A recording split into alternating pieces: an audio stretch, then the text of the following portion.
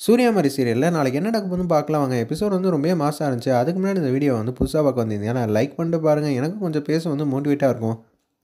சூர்யா வந்து maroon colour காரில் வந்து போயிட்டுருக்காங்க. இதை வந்து அரவிந்த் ஃபோன் அடித்து பேசுகிறாங்க என்னது அரவிந்த் யார்கிட்ட ஃபோன் பண்ணி பேசுகிறாங்க அரவிந்தை நம்ம கண்காணிச்சு அவனு சொல்லி மாறி வந்து விட்டு கேட்குறாங்க அப்போன்னு பார்த்து இந்த நம்பரு கார் கலரு எல்லாத்தையும் சொல்லிடுறாங்க. அப்போனா இதை வச்சு தான் தந்திரமான வேலையெல்லாம் பார்க்குறீங்களான்னு சொல்லி ஒரு ஒயிட் கலர் கார் எடுத்துகிட்டு அப்படியே பின்னாடியே வந்து ஃபாலோ பண்ணுறாங்க பாதி வழியில் சூர்யா காரை வந்து மறைச்சிட்றாங்க போல இருக்குது மாறி வந்து இறங்குறாங்க.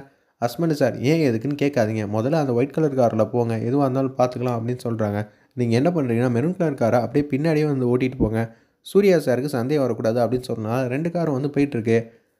அரவிந்த் சொன்ன அசிஸ்டண்ட் எல்லோரும் வந்து வாசல் நின்றுட்டு இருக்காங்க. அந்த கார் வருதுன்னு. A first white colour car வருது. அந்த கார் நம்பரில் அடுத்து மெரூன் கலர் கார் வருது. இல்லை அந்த நம்பர் தான் சொல்லி அப்படியே வந்து வெரிஃபை பண்ணிக்கிறாங்க அரவிந்த் சொன்ன நம்பர்லாம் அப்படியே அந்த காரை வந்து பிளாக் பண்ணிடுறாங்க. சூர்யா வந்துட்டு முன்னாடி வந்து தந்திரமாக வந்து கிளம்பிடுறாங்க மாறி சொன்னனால.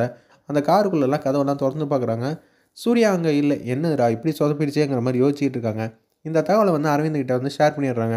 சார் நீங்கள் சொன்ன கார் கலரையும் நம்பரையும் பார்த்துட்டேன். அங்கே சூர்யாலாம் இல்லையே. என்னது கார் காலையில் கிளம்புனப்ப மெரூன் கலர் காரில் தானே போனால் அவன் கதையை முடிச்சிடலான்னு பார்த்தா என்ன இப்படி மாதிரி சொதப்பிடுச்சுங்கிற மாதிரி யோசிச்சுட்டு இருக்காங்க. ஒரு நிமிஷம் இருப்பா லைனில் இருங்கிற மாதிரி ஃபோன் பண்ணுறாங்க ஆஃபீஸ்க்கு சூர்யா வந்துட்டாரா? எந்த காரில் வந்திருக்காங்கன்னு பாருங்கன்னா ஒயிட் கலர் கார். நம்பர் சொல்லுங்கள் நாங்கள் ஃபோர் ஃபைவ் ஃபோர் ஃபைவ்னு ஏதோ ஒரு நம்பர் சொல்லிட்டு இருக்காங்க. சரிங்கிற மாதிரி வச்சிடுறாங்க. மாறி வந்து கேஷுவலாக வந்து வீட்டுக்கு வந்துடுறாங்க போல இருக்கு. என்னது அரவிந்த் ரொம்ப கோவமாக இருக்காங்க. ஏய் நான் தான் தப்பாக சொல்லிட்டேன். கார் நம்பர் வந்து four five four five white colour car அப்படின்னு சொன்னேன் என்னது இதையும் இப்படி சொதப்புறாங்க? ஒன்றும் புரியலேங்கிற மாதிரி மாறி வந்து தந்திரமாக வந்து யோசிச்சுட்டு இருக்காங்க. ஏதாவது ஒரு வழி பண்ணணும் என்ன பண்ணலாங்கிற மாதிரி யோசிச்சுட்டு இருக்காங்க நம்ம மாதிரி ஒரு பக்கம் வந்து ஸ்டேஜாவும் ஜாஸ்மினும் கோயிலுக்கு வந்திருக்காங்க போல இருக்கு. சங்கரமணி வந்து கேட்குறாங்க கோயிலுக்கு வந்தோமா இல்லை பிக்னிக் வந்தோமா? என்னப்பா அது கார்டனில் உட்காந்துக்கிட்டு இருக்கீங்க? இந்த இடத்துல தான் நாளைக்கு வந்து. ஜாஸ்மினுக்கும் சூர்யாவுக்கும் கல்யாணம். ஆரம்பத்துலேருந்து கல்யாணம் பண்ணுறோம் பண்ணுறோம் ரிஜிஸ்டர் ஆஃபீஸ்லேருந்து அலப்புறம் பண்ணிட்டு தான் இருக்கும். கடைசியில் என்ன ஆச்சுன்னு தெரியுமா? யார் கல்யாணத்தை தடுக்கிறான்னு தெரியவே இல்லை. அழகு தேவதை கால் தான் உடஞ்சிச்சுங்கிற மாதிரி அல்டிமேட்டாக ஃபன் பண்ணுறாங்க நீங்கள் யார் பக்கம் இருக்கீங்கன்னு ஸ்ரீஜா கேட்குறாங்க சிதப்பா சொல்கிற வேலையை மட்டும் பண்ணுங்கள் கோயிலில் வச்சு செஞ்சால் எதுவுமே வந்து தடுக்க முடியாது. தெய்வமாக வந்தாலும் சரி யார் வந்தாலும் சரிங்கிற மாதிரி ஸ்ரீஜா வந்து கோவப்பட்டு பேசுகிறாங்க இதுக்கு தாராக்காவே எவ்வளோ தேவலான்னு சொல்லிட்டு அப்படியே குடுகுடுன்னு ஓடுறாங்க. அப்படியே ரிஜிஸ்டர் பண்ணுறதுக்கு என்னெல்லாம் செய்ய முடியும் அதெல்லாம் கேட்டுட்ருக்காங்க ஒரு பக்கம் வந்து மாறி வந்து சாப்பாடு எடுத்து சூர்யா பார்க்கலான்னு சொல்லிட்டு ஆஃபீஸ் வந்து போகிறாங்க இதை வந்து பார்த்துட்றாங்க தாரா. இப்போ என்ன சாப்பாடு கூடிய கூட்டிகிட்டு எங்கே போயிட்டுருக்கா? ஒன்றும் புரியலங்கிற மாதிரி தாரா வந்து யோசிச்சுட்டு இருக்காங்க. மாரியை சீண்டாமல் நாளைக்கு சூர்யாக்கும் ஜாஸ்மின் கல்யாணம் பண்ணிடணுங்கிற மாதிரி தாரா ஒரு பக்கம் வந்து தந்திரமான வழியெல்லாம் பார்த்துட்டு இருக்காங்க. சங்கர்பாணிக்கு ஃபோன் அடித்து கேட்குறாங்க ஏன்டா நான் சொன்னபடி திட்டம் பண்ணி தானே போயிட்டுருக்கேன். ஆமாம் அப்படி தான் போயிட்டுருக்கேன். ஆனால் நாளைக்கு கல்யாணம் நடக்குமான்னு தெரில ஏன்டா அப்படிலாம் சொல்லிட்டு இருக்கா? பின்ன ஏற்கனவே ஒரு வாட்டி போனால் நடக்கல. இந்த வாட்டி நடக்குமான்னு தெரிலங்கிற மாதிரி வச்சுட்டு இருக்காங்க. அதே மாதிரி சாப்பாடு எடுத்துகிட்டு வந்து சூர்யா கேபின்குள்ளே வந்துடுறாங்க. நம்ம மாதிரி என்னம்மா அது? காலையில் எதுக்காக நீ காரை என்ன மாற்றி போக சொல்கிற எனக்கு ஒன்றுமே புரியல. அதெல்லாம் ஒன்றும் இல்லை ஹஸ்பண்ட் சார். முதல்ல நான் சொல்கிறது மட்டும் கேளுங்க. அப்புறம் எதுவாக இருந்தாலும் பேசுங்கிற மாதிரி. அந்த இடத்துல தன்மையாக வந்து பேசிகிட்டு இருக்காங்க. சாப்பாடுலாம் எடுத்து வைக்கிறாங்க. சாப்பிட்டு முடிச்சிட்டாங்க. நீங்கள் காலையில் ஒயிட் கலர் காரில் தானே வந்தீங்க. ஒயிட் கலர் காரில் வரக்கூடாது. மெரூன் கலர் காரில் தான் வரணும். நீ ஏதோ ஒரு விஷயத்த உள்ளே மறைச்சிக்கிட்டு தான் இது மாதிரி சொல்கிறேன்னு நல்லாவே தெரியுது.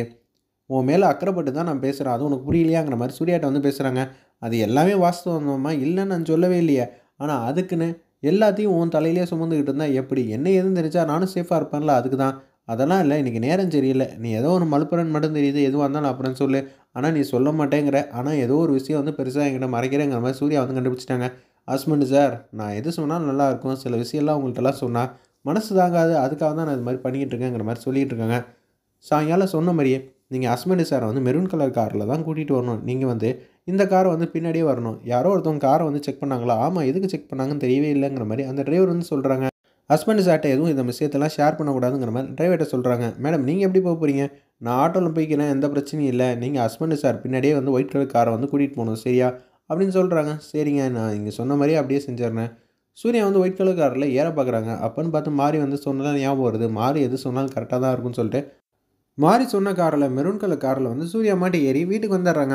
வர வழியில் அதே மாதிரி ஒயிட் கலர் காரை வந்து செக் பண்ணுறாங்க சார் என்ன சார்? ஒயிட் கலர் காரில் வரவே இல்லை. நீங்கள் சொல்கிறது எல்லாம் அகேன்ஸ்ட் ஆப்போசிட் ஆகுது. சூர்யா வந்து கார் சவுண்டு கேட்டோன்னே வாசல் வந்து பார்க்குறாங்க. பார்த்தா மெரூன் கலர் கார் என்னது? போகிறப்ப மெரூன் கலர் காரில் போனால் நடுவழியில் ஒயிட் கலராக காராக மாறிடுச்சு. சரி வரப்போ ஒயிட் கலர் காரில் வருவான்னு பார்த்தா மெரூன் கலர் காரில் வரா. யாரா அது நடுவில் வந்து இது மாதிரிலாம் செஞ்சிகிட்ருக்கா ஒன்றும் புரியலங்கிற மாதிரி செமையாக வந்து கோவப்படுறாங்க. என்ன சார் மாற்றி மாற்றி சொல்கிறீங்க எங்களுக்கு ஒன்றுமே புரியலங்கிற மாதிரி அங்கெல்லாம் பேசுகிறாங்க எனக்கும் ஒன்றும் புரியல. நம்ம விஷயம் வந்து எங்கேயோ லீக் ஆகிடுச்சு போல இருக்கு. அதனால தான் சூர்யா வந்து நடுவழியில் வந்து வித்த காட்டுறா. எனக்கு ஒன்றும் புரியல. எதுவும் இருந்தாலும் நான் சொல்கிறேன் சார் அப்படியெல்லாம் வச்சுக்காதீங்க. முதல்ல பேசுகிறத வந்து ரகசியமாக பேசுங்க. நீங்கள் யாரோ வந்து ஷேர் பண்ணிடுறாங்கன்னு நினைக்கிறேன் உங்கள் தகவலை. சரி நானும் பார்த்துக்கிறேன்னு சொல்லி ஃபோன் வந்து வச்சிடுறாங்க. என்னடா இது? நமக்கே தெரியாத புதுசான வழியிலனா சூர்யாவை காப்பாற்றுறது யார்? மாரியா இருக்குமோ? அப்படியெல்லாம் இருக்க வாய்ப்பே இல்லையேங்கிற மாதிரி யோசிச்சுட்டு இருக்காங்க. சூர்யா வந்து நடு ஹாலில் நடந்த உண்மையெல்லாம் அப்படியே போட்டு உடச்சிடுறாங்க. இதெல்லாம் உன் வேலை தானா அப்போனா உனக்கு தெரியாமல் எதுவுமே பண்ண முடியாது. இப்போ என்ன பண்ணுறேன்னு தெரியாமல் அந்த இடத்துல வந்து சூர்யா வந்து யோசிச்சுக்கிட்டு இருக்காங்க. நீ எதுக்காக இந்த மாதிரிலாம் பண்ண? அரவிந்த் வந்து செமையாக வந்து கோவப்படுறாங்க. மாறி முதல்ல நீ இந்த வீட்டில் இருந்தால் தானே பிரச்சனை. உன்னை முதல்ல இந்த வீட்டை விட்டு துரத்தனா அதுக்கப்புறம் சூர்யாவை நான் நல்லபடியாக பத்திரமா வந்து அமுச்சு விட்றாங்கிற மாதிரி. அரவிந்த் யோசிக்கிற மாதிரி காட்டி இந்த எபிசோட் அல்டிமேட்டாக அமைச்சிருந்தாங்க